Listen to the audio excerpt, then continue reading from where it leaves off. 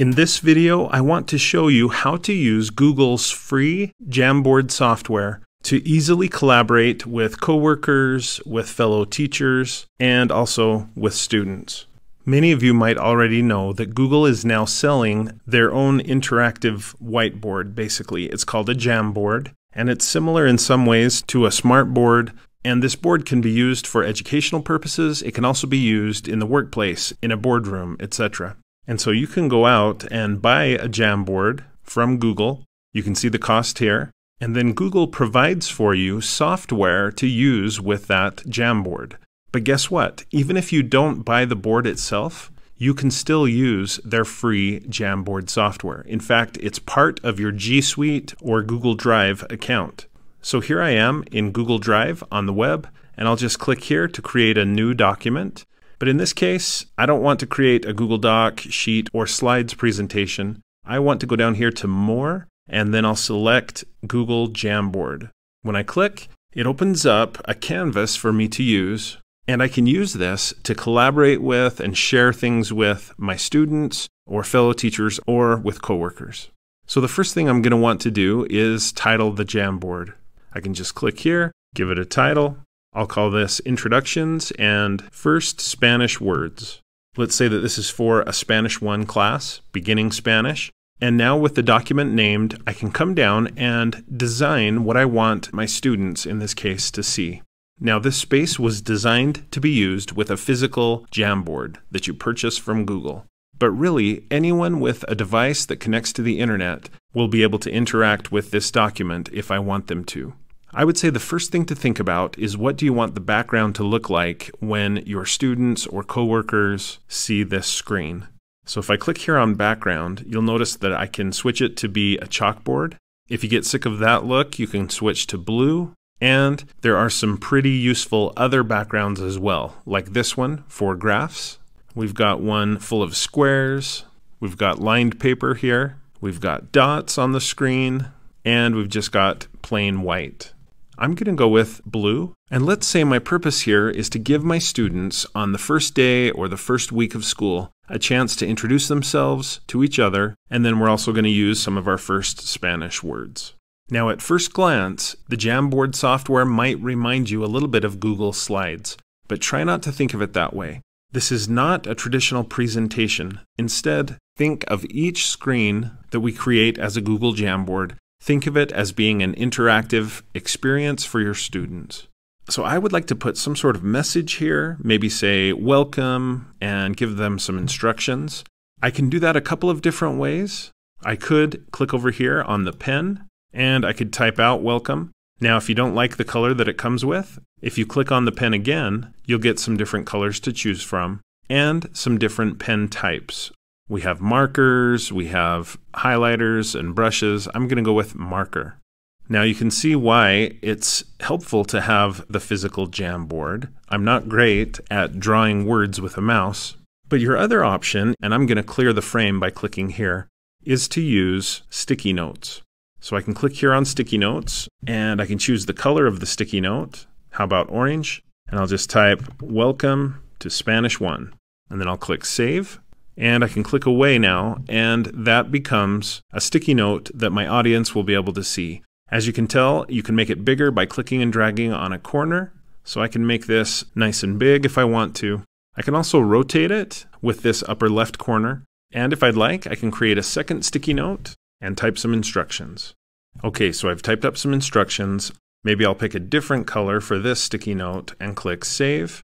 And then again, I can click away from the sticky note creator and get back to the actual page. And then I can click and drag to make it bigger if I would like. Now, as you can tell, Google Jamboards don't have every single option that we're used to having in Google Docs or in Google Slides. This is not meant to be a word processor or a presentation tool necessarily. So I would like to be able to stretch this out a little bit differently maybe make the sticky note more horizontal than it is vertical, things like that. But that doesn't seem to be an option. But that's okay. This is meant to just be an interactive experience for my students.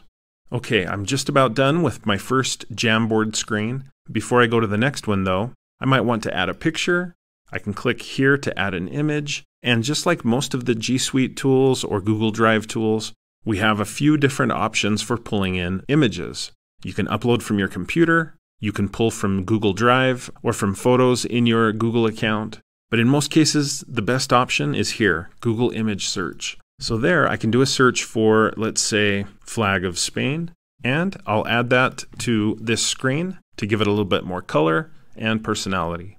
Maybe I'll shrink it down a little bit and place it where I want it to be on the screen. Next, I'm going to want to go up here and click the Create Frame button. It looks like just a next button, really, but every time you click this, it adds a new frame into your Jamboard. And so what I would do is I would make sure I have one of these for each student in my class. So normally I would end up with 30 or 35 of these, but let's just say it's a small class and I have 10. And I could at this point decorate each of these slides in some way or establish a background for each slide. Or I could leave all of the screens completely blank and allow the students to customize from scratch their own screens. One way I could customize these screens for the students would be to add a specific background. I could add an image as a background. So for example, I could search for a map of the world and have that be the background on which the students post the information about themselves. And I could size this the way I want it to be and place it where I want it to be on the screen. Now, one thing to be aware of when I share this Jamboard with my students, they are very capable of moving things around. And so I may place this map here, but the students with their mouse might accidentally click and drag and move this out of the way, that is one of the things about Jamboards. I do wish that teachers or the person creating the Jamboard could lock certain images. Maybe there's a way to do that that I haven't found, but I do think that would be an improvement. But let's assume that I just want to leave each screen blank and let the students customize them the way they want. Maybe I'll just move to screen number 12. And on screen 12, I want to make an activity for the students to get them thinking about Spanish and using the Spanish that they already know. So maybe I'll click here to create another sticky note. List Spanish words you already know. I'll click Save, and I'll create a second sticky note. List Spanish words that you've heard but don't understand, and I'll click Save there. I'll click away from the sticky note builder and then click and drag to place these sticky notes where I want them to be. Okay, assuming that I'm done with this Jamboard, the next step for me as a teacher or as a team leader would be to go here and click the Share button and Google gives me a couple of ways to share this Jamboard. I can add specific people in groups, and that might work for you. If your students or your team is in G Suite and organized properly, you might be able to just click to add your fourth period class or your department team. But otherwise, you may need to go down here where it says Get Link and then click Change to Anyone with the Link and then you'll need to decide do you want them to be just viewers of this content or do you want them to become editors of the content? And make sure you've copied the link, and then you can click Done. And then you can simply provide that link to your students or your audience however you normally would. Maybe it's you post it in Google Classroom or Canvas, or maybe you post it on your website or your team Slack channel or Microsoft Teams channel, whatever it might be. But anyone with that link, when they click it, they'll be taken to the Jamboard. So now when it's time for class to start or for a meeting to start, you can show this first screen, encourage your audience to go to the link, you can talk about the instructions, and then each individual that has access to the board will be able to add their own sticky notes, they'll be able to add their own images, and as the teacher, as you're doing this, as you're going from slide to slide, there is a nice little tool that you have, and that is this laser pointer. If you click on the laser button, it lets you circle certain things or point out certain things, and you can see what the laser pointer does. When you release the mouse, or if you hold still too long, the laser pointer starts to erase itself. But it's a great way to draw students' attention to a particular area, and then it disappears. Of course, students could use the markers and the pens to draw things themselves. If they make a mistake, they can use this eraser to remove the mistake. They also have an undo button as well here in the upper left. So think of a Jamboard as a collaborative space in which you and your team or you and your students can post information and share information with each other. It's also great for some interactive activities like this one. Each student on their own device could go in and type examples of words that they already know, and then drag and put those words on the side of the screen where they belong.